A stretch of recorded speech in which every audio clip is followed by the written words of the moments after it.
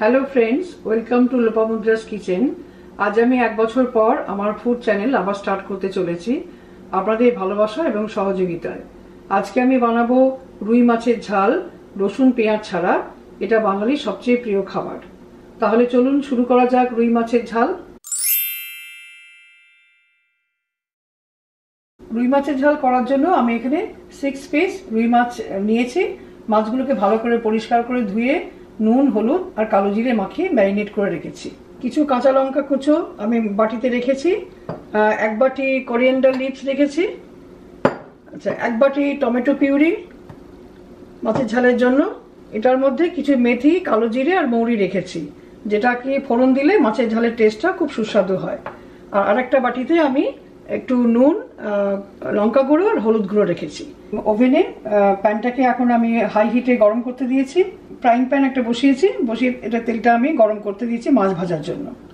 তেলটা খুব ভালো গরম হয়ে গেলে আমি মাছ ওয়ান বাই ওয়ান এতে ছাড়বো। এখন তেলটা গরম হয়ে গেছে, এখন মাছগুলো আমি এক এক করে ছাড়বো।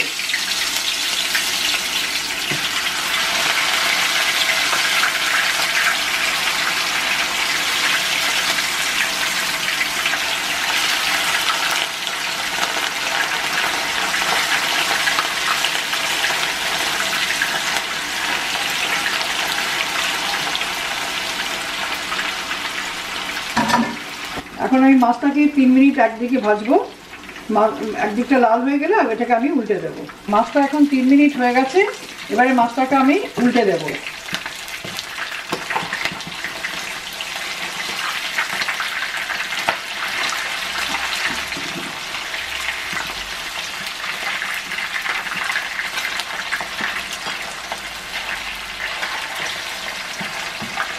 দেখুন মাছের একটা পিঠ কীরকম সুন্দর লাল হয়ে গেছে। এই পিঠটা আমি আরও তিন মিনিট এখন আমি ভাজবো।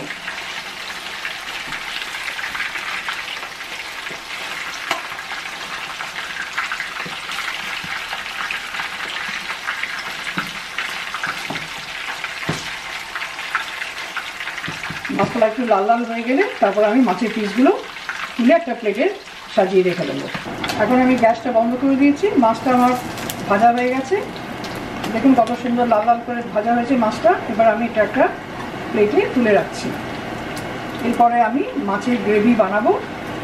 তারপরে একটা পর একটা মাছ আমি গ্রেভিতে দিয়ে মাছের ঝাল করব।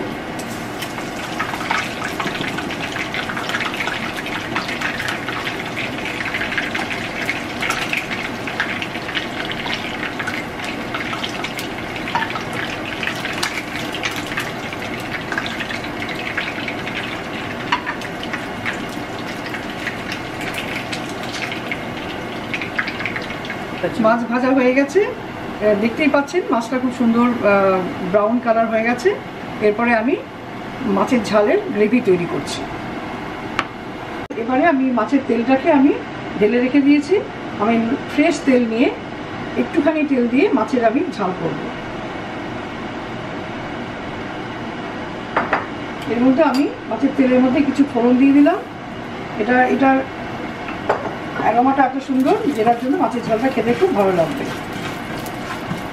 এরপরে আমি একটার পর একটা মশলা অ্যাড করব।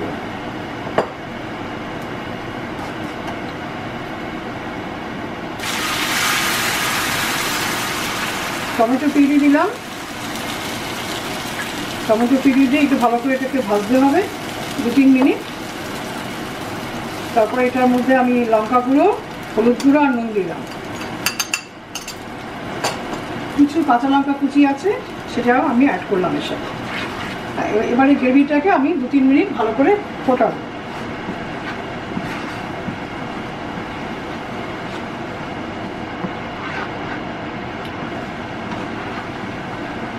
হ্যাঁ গ্রেভিটা এবার আমার ফুটে গেছে। আমি একটার পর একটা মাছ গ্রেভিতে দিয়ে দেবো।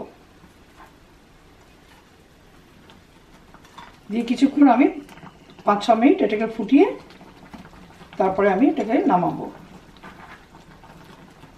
কিছু ধনে পাতার কুচি আমি ওপর থেকে ছড়িয়ে দিলাম।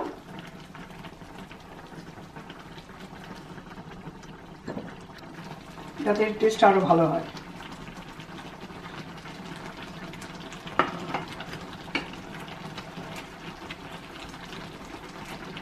আঁচটাকে আমি মিডিয়ামে করে দিলাম।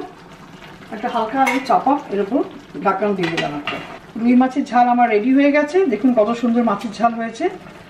এটাকে আমি এখন এখন সাদা একটা প্লেটে ঢেলে রাখব। রুই মাছের ঝাল এখন আমার রেডি দেখুন কত সুন্দর দেখতে হয়েছে।